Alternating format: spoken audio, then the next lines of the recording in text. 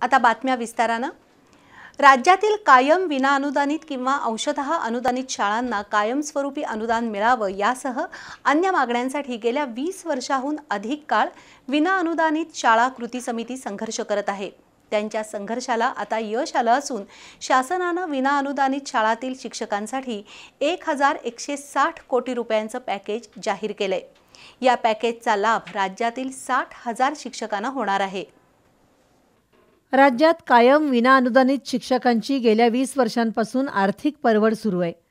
राज्यातील अनेक शाळा कायम विनाअनुदानित तत्वावर चालवल्या जात आहेत तर काही शाळांना केवळ वीस आणि चाळीस टक्के अनुदान शासनाकडून मिळतं.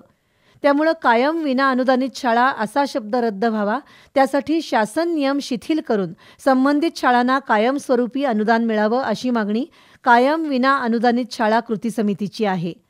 या मागणीसाठी आझाद मैदानावर राज्यव्यापी आंदोलनही करण्यात आलं. तर कोल्हापुरात कृती समितीच्या वतीनं शिक्षण उपसंचालक कार्यालयासमोर अनेक वेळा आंदोलनं निदर्शनं झाली. तसंच यंदाचा शिक्षक दिन काळा शिक्षक दिन म्हणून साजरा झाला. या पार्श्वभूमीवर शिंदे फडणवीस सरकारनं राज्यातील विनाअनुदानित शाळांच्या शिक्षकांसाठी एक हजार एकशे साठ कोटी रुपयांचं पॅकेज जाहीर केलंय.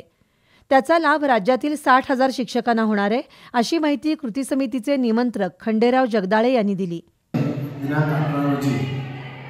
संपूर्ण महाराष्ट्रातील प्राथमिक माध्यमिक उच्च माध्यमिक शाळा व वृत्तपत्रे यांना अघोषित त्रुटीपूर्तता केलेल्या शाळा आणि पुढील वाढीव टप्प्यासाठी एक हजार एकशे साठ कोटी अनुदान मंजूर केलं त्याबद्दल मी शासनाचा मनस्वी आभार मानतो. गेल्या अडीच वर्षापासून महाविकास आघाडीचं सरकार होतं. परंतु या सरकारमधल्या शासनानं कोणताही प्रश्न एकही प्रश्न कोणताही शिक्षकांचा सोडवला नाही. त्या उलट शिंदे सरकारनं गेल्या चार तीन चार महिन्यामध्ये सत्तेत येऊन शिक्षकांचा अतिशय किचकट आणि अनेक वर्षापासून प्रलंबित प्रश्न सोडवला. राज्य शासनाच्या या निर्णयामुळे कायम विनाअनुदानित शाळांचा प्रश्न सुटण्यास मदत झाली असली तरी सर्व शाळांना शंभर टक्के अनुदान मिळेपर्यंत कृती समितीचा लढा सुरूच राहील असं जगदाळे यांनी सांगितलं.